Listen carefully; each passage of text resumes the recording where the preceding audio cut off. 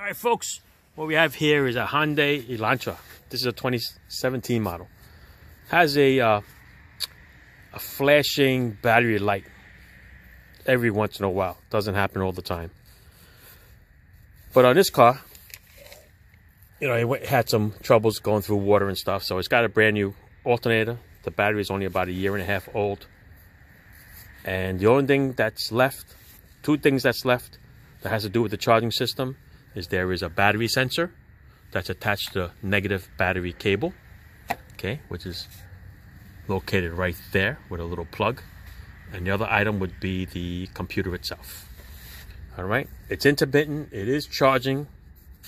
Okay, so it's not killing the battery or anything, but every once in a while, when you're driving, when you're making a turn, maybe, I'm not sure, but the, uh, the battery light would just flash on for a little bit and flash off.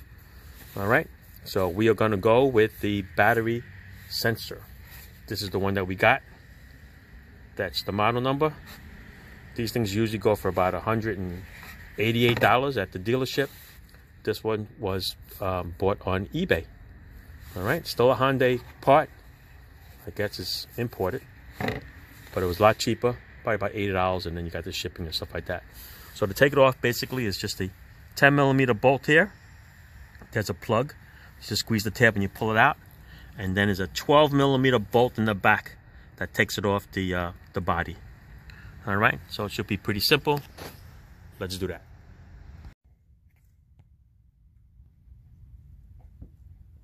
All right, the hardest part is going to be getting that 12 millimeter bolt in the back. So let's take the battery terminal off first. To 10 millimeter out of the way. Okay, then there's a little clip.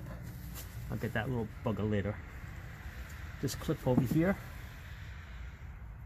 So you can push it on the side here. The hard one to get to.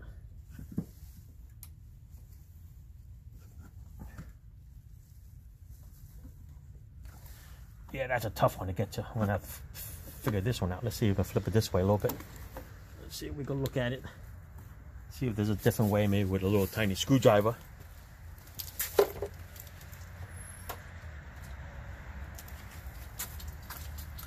Maybe a little tiny screwdriver will be able to get that little tab off over here.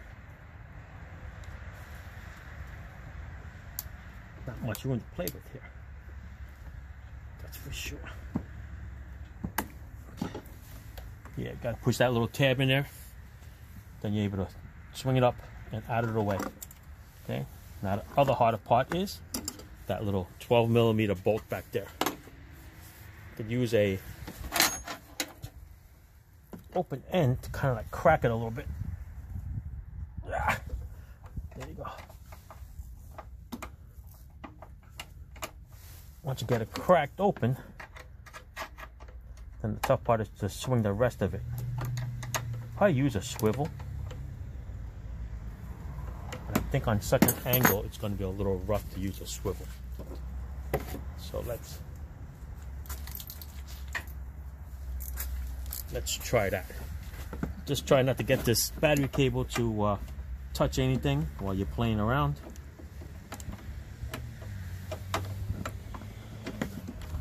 Yeah, can't get a swivel in there. So we're gonna try a, uh, let's try a ratcheting wrench. Let me go get a ratcheting wrench. All right, let's go with a 12 millimeter ratcheting wrench. Let's try to get in there. can get a little bite on it, I'll be able to spin it off. It is loose. It's already cracked loose already. It's just in a bad spot. Very bad spot. You know what? Let's try a, shorty. All right, 12 millimeter shorty on a quarter inch drive with a flex head. That's the key. All right, there it is. Let's crank it all the way out.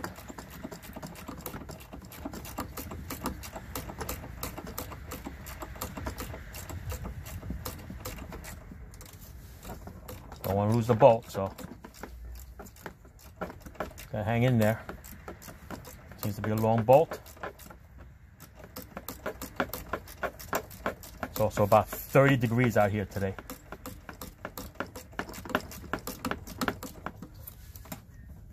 So, trying to do this.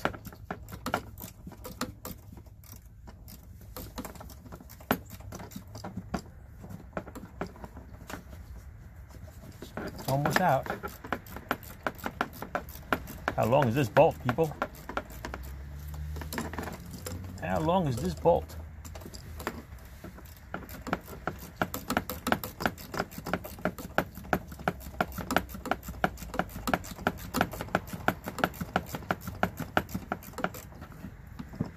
You only have so much room that you can play with too in here.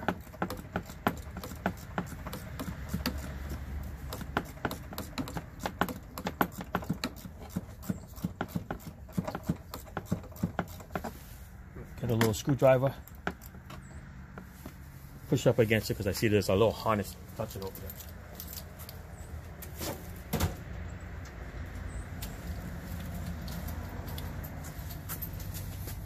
So just gonna push up against here a little bit.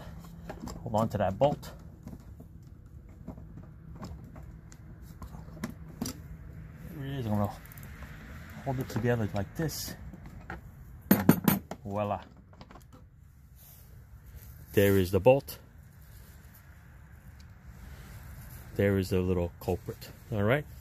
We're changing it because we're going to guess that all that corrosion right there that you see is most likely the problem that you give the on and off type of light. You see the little rust? Okay. So I'm to change it. Got a new one right here.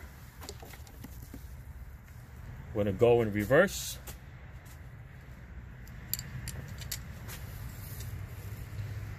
We're to install this little bad boy. Don't forget we got to line it up with the tab. To set that up and then we're to lock it in. Let's let's do that. All right, folks. I know it's a superseded number from one model to a, another. Okay? It's off by a digit because that's what it's superseded to according to Hyundai. So I wonder what the superseded was. Everything else here looks the same. The plug is the same, but if you notice, the uh, the eyelet at the end is the difference. You see, it's got a little tab over here at the nine o'clock position, going this way, and the tab is now at the twelve o'clock position. So on the car, this will go into a little hole or a little slot right below the bolt. So it will kind of like direct this cable to go straight up. If you were to take this new cable and put it in that slot like this, it now shortens the cable to reach to the battery because you have to reach to the battery this way. So that's the only thing I can think of. Maybe that's why it was a little cheaper on eBay, but it was the same part number and it was in a sealed box. So maybe that is the new number, unless that's the older model. Or they're just getting rid of, you know, one older set to make it all the same. But anyway, what we're going to do here is we're going to bend this little tab out, make it flat, and I'm going to put the bolt on there with a lock washer. The lock washer will get a nice little bite into the metal, and it's going to go in straight up just like that. Okay? That way the cable will reach. All right, that's what we're going to do. It is now dark out, midnight auto. Let's do it. Alrighty, you can see the lock washer. You can see the head of the bolt. There's the cable sitting right there. Okay. You think it's easy getting in there? It is not, because remember, you got this harness over here leaning up against it. So that's what's going to give a little problem for you to get this bolt in. Okay, other than that, quarter inch drive ratchet. I'm to crank it right in and it should be no problem. Okay, sorry for the midnight auto repair. Gets dark out real fast. Hopefully, it'll change soon. another month or so. All right, so we're gonna do, we're gonna crank it all the way in. All right, just to make sure that we have enough room. Okay, it's gonna come around here. Just before you lock it up, you wanna make sure that you have enough room that the wire is gonna plug in and it's gonna connect to the battery terminal. All right, so it's gonna have to go in just a little bit, almost at the 12 o'clock mark. Like the other tab had it at. Remember? I showed you that tab? So this cable is going to have to go straight up at the 12 o'clock. We're going to crank it down. I'm going to get the little uh, ratchet and wrench to really give it a nice little crank. And then we're to plug it in. I'm to put the terminal on. All right, so let's do that. All right, so here we are. I don't know if you remember in the beginning of the video, I lost my little felt uh, washer there fell down through the side. In order to get it, all these years I never bought this tool. I felt it was kind of dumb. But I went and I finally bought it. And it came into use for the past couple months already. Between losing bolts and grabbing uh, this washer. And one time I lost a little headlight bulb inside the headlight. Had to get it out. All right, so here we are. We're down to the part where we're to plug in this little connector for the sensor and then we're to put the battery cable on okay this is already cleaned already that is new so I'm going to go and I'm going to plug this in here first and then we're going to connect the negative battery cable so let's plug it in now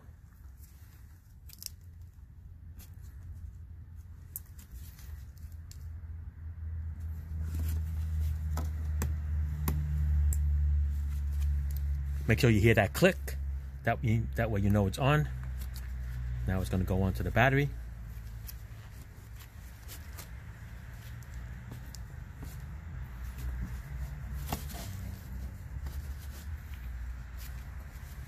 Make sure it's all the way down.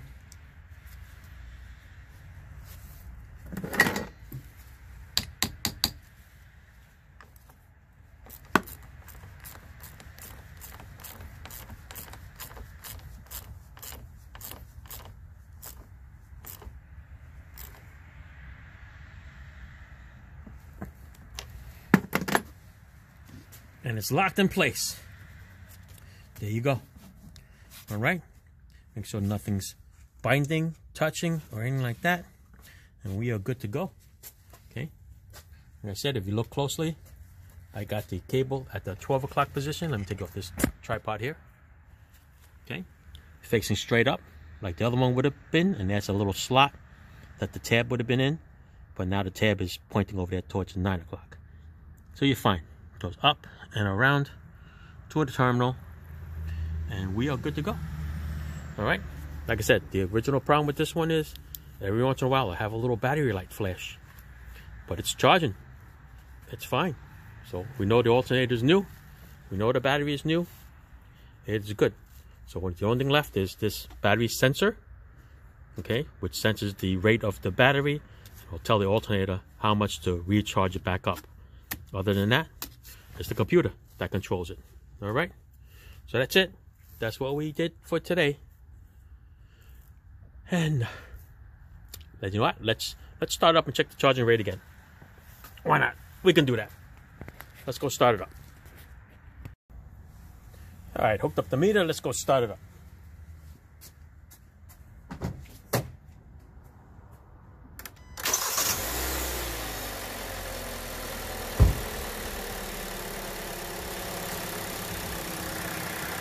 Take off the tripod, right to the meter.